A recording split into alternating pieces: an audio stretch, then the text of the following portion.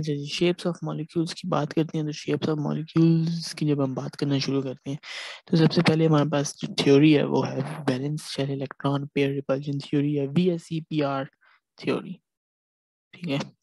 और ये थ्योरी ये कहती है कि the shape of molecules depends upon the number of electron pairs surrounding the central atom electron pairs are bonded pairs और लोन पेयर्स ठीक है? Electron pairs repel one another and move as far there two type bond pairs और lone pairs ठीक हो गया?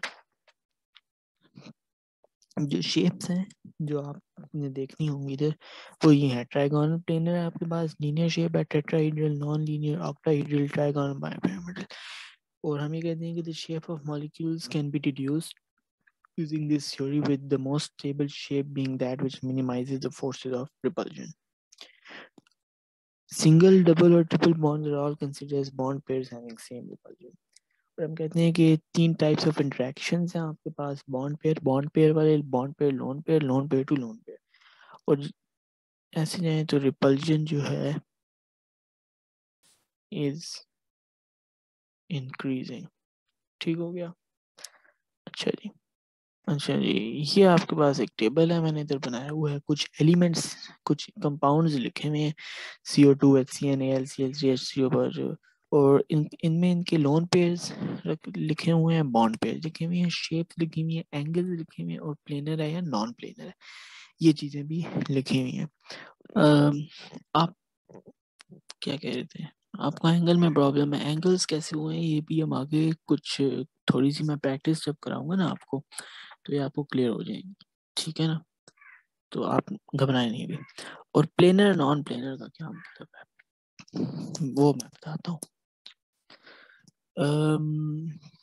सी O to है इधर आपके पास। डिफरेंट कर लेते हैं, ताकि पता चले, खुद लिखे। सी ओ टू है। सी डबल बॉन्ड ओ ओ ठीक है? सी ओ टू का मॉलिक्यूल में ये आप ज़मीन पर रख सकते हैं टेबल पर?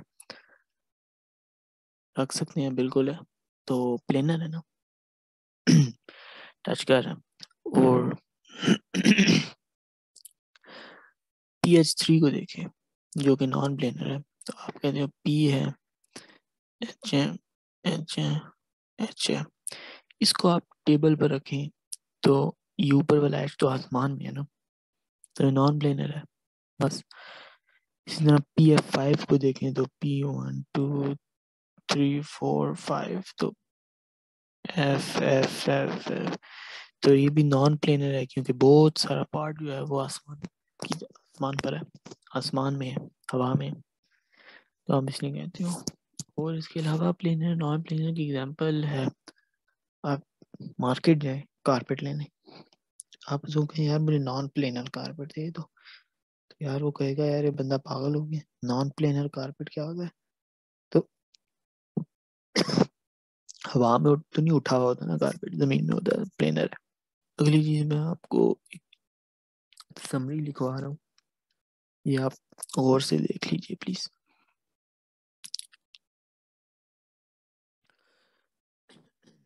सॉरी चलिए। एक सेकंड बस मुझे लगेंगे। बनाने में।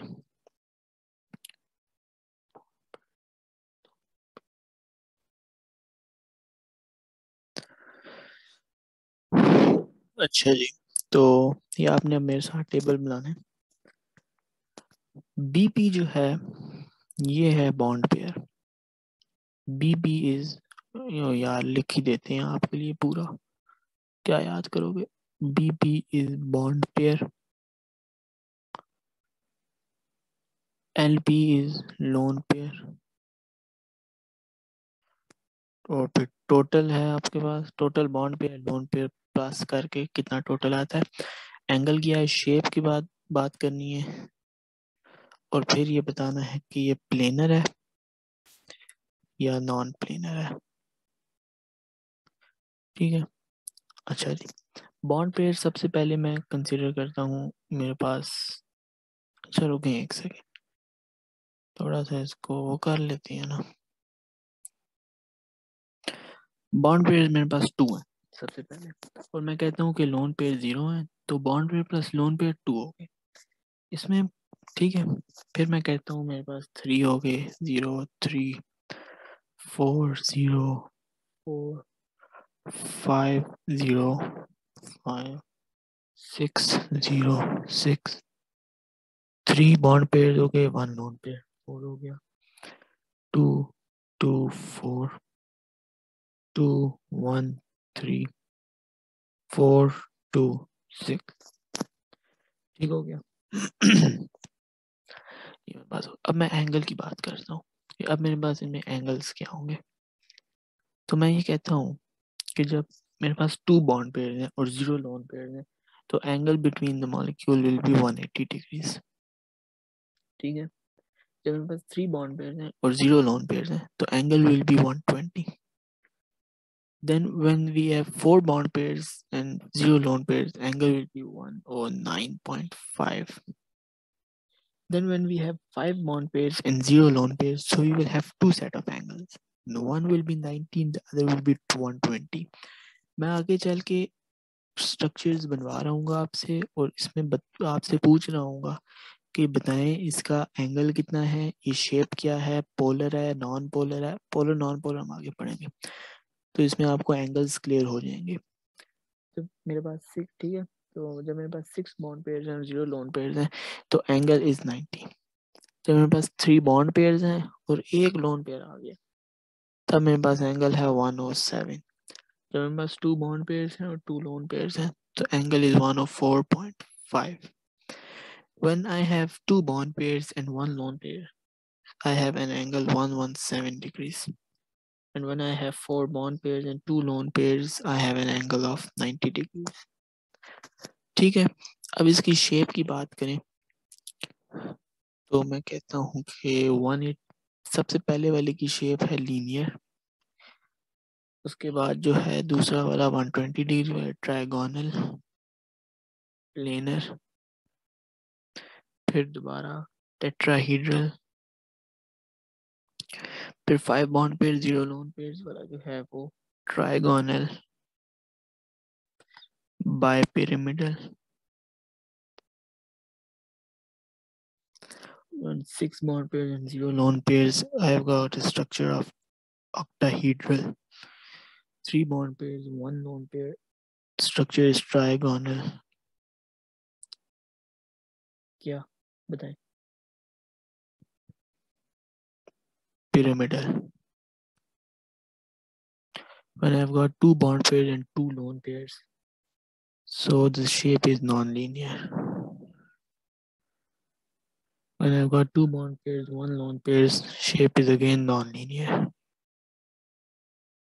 When I've got four bond pairs, two lone pairs, the shape is square planar. ठीक हो गया विजन है और अब आपने बताना है प्लेनर कौन सा है नॉन प्लेनर कौन सा है लीनियर शेप वाला प्लेनर है ट्राइगोनल प्लेनर नाम ही लिखा हुआ है प्लेनर तो प्लेनर होगा इसी तरह आखिरी वाला भी प्लेनर होगा नॉन लीनियर नॉन लीनियर दोनों प्लेनर शेप वाले के होते हैं। ट्राइगोनल पिरामिडल जो है, ये भी नॉन प्लेनर होगा। नॉन प्लेनर है। ऑक्टाहीड्रल नॉन प्लेनर है। ट्राइगोनल पिरामिडल नॉन प्लेनर है। टेट्राहीड्रल जो है, ये भी नॉन प्लेनर है। ठीक हो गया। बस, ये एक छोटी समरी सी है, आप इसको अच्छे तरीके से बाद में खुद भी देखिएगा। अब मैं आगे आता हूँ और अब मैं बात करता हूँ। मैं आगे आता हूँ। और ये एक और समरी है, छोटी सी शेप्स के बारे में। ये आप ये बेसिकली क्या कह रही है? ये कह रही है कि all trigonal planar molecules of A B three और non polar A B three का क्या मतलब है? ए बी थ्री वाले कौन से मॉलिक्यूल्स होते हैं भाई बताओ।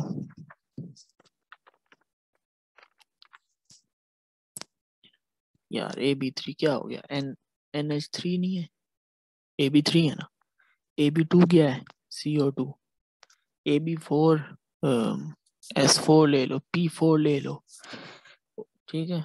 A B six S F six P F चलो P F S F six कर लो। A B five P F five ठीक है? है ना सारे? तो बस, इसमें क्या मुश्किल है? ठीक है?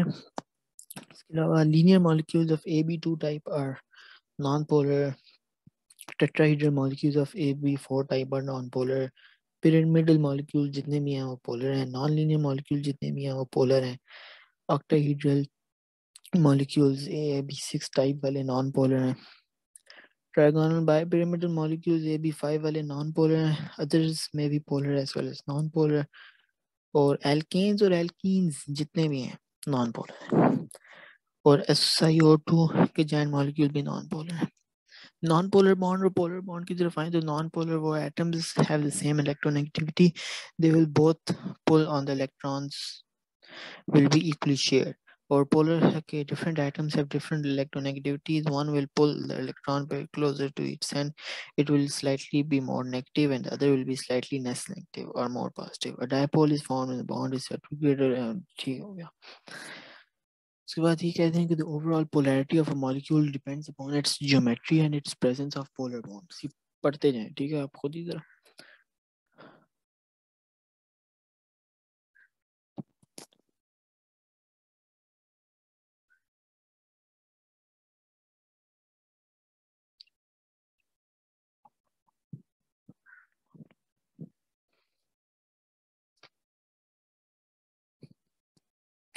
अच्छा जी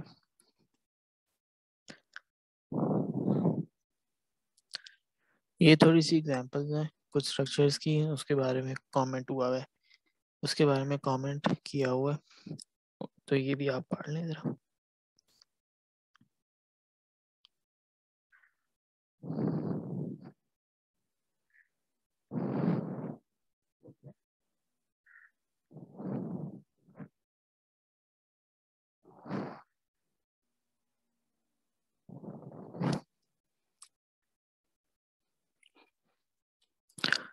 जी, पढ़ लिया। ठीक हो गया। इसके ऊपर छोड़ दें पढ़ लें सिर्फ़। जी तो एम श्योर आप लोगों ने पढ़ लिया। अब मैं एक, अगला टॉपिक जो शुरू करने वाला हूँ आपके साथ, वो बिल्कुल एक छोटा सा टॉपिक है। और उसके बारे में बात करते हैं और फिर आज के लेक्चर ख़त्म करते हैं। और वो टॉपिक है, एक सेकेंड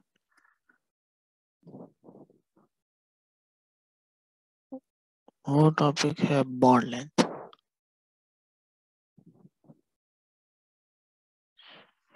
बॉन्ड लेंथ क्या होती है? आप मुझे बता सकते हैं? तू भाई, तू दस। बॉन्ड लेंथ की होती है? बातें ना किया करो।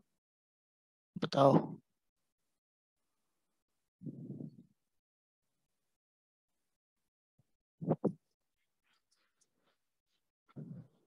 सर जी, बताएँ, मैं वेट कर रहा हूँ। बॉन्ड लेंथ क्या होती है?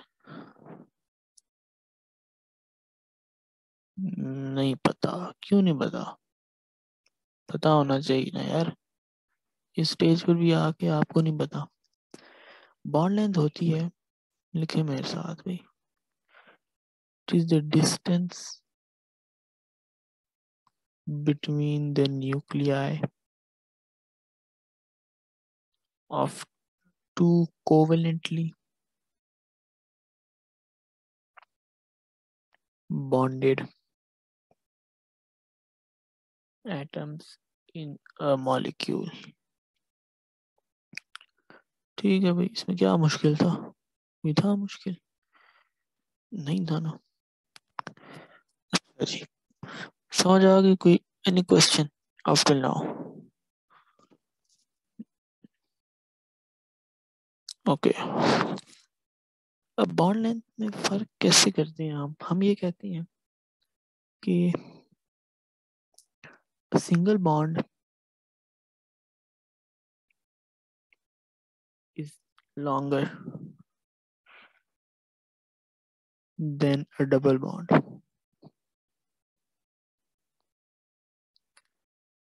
और double bond is longer than a triple bond. ठीक है? और long larger the atom longer the bond ठीक हो गया? अच्छा जी। ये हो गया इधर बॉन्ड लेंथ जो है वो। ख़त्म होती है बॉन्ड लेंथ की। और बॉन्ड लेंथ के पेपर में क्वेश्चंस कैसे आती हैं कि आपको ऐसा हो सकता है कि आपको दिया हो, कहा हो कि सी सी बॉन्ड है C double bond C bond है। इसकी एग्जैक्ट बॉन्ड लेंथ की वैल्यूज़ मुझे नहीं पता। मैं कहता हूँ कि इसकी बॉन्ड लेंथ की वैल्यूज़ 154 पिकोमीटर है और इसकी जो है ये 135 पिकोमीटर है। तो आपसे पूछ सकता है कि यार कौन सी ज़्यादा बड़ी है, ये ज़्यादा बड़ी है, ये ज़्यादा बड़ी है, या आपको वो ऐसे दे सकता है। वो कहता है कि सी सी सी डबल बॉन्ड सी इसमें कौन, इसमें से कौन सी बॉन्ड लेंथ जो है वो बड़ी है तो आप लिख दोगे सी सी या या पूछ सकते हैं सी सी बड़ी है सी ट्रिपल बॉन्ड सी बड़ा है बॉन्ड लेंथ तो आप सी डबल बॉन्ड सी लिख दोगे, बस। तो बेसिकली ये ऐसे आती है।